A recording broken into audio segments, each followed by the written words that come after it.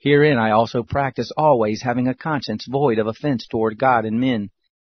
For when the Gentiles who don't have the law do by nature the things of the law, these, not having the law, are a law to themselves, in that they show the work of the law written in their hearts, their conscience testifying with them, and their thoughts among themselves accusing, or else excusing them.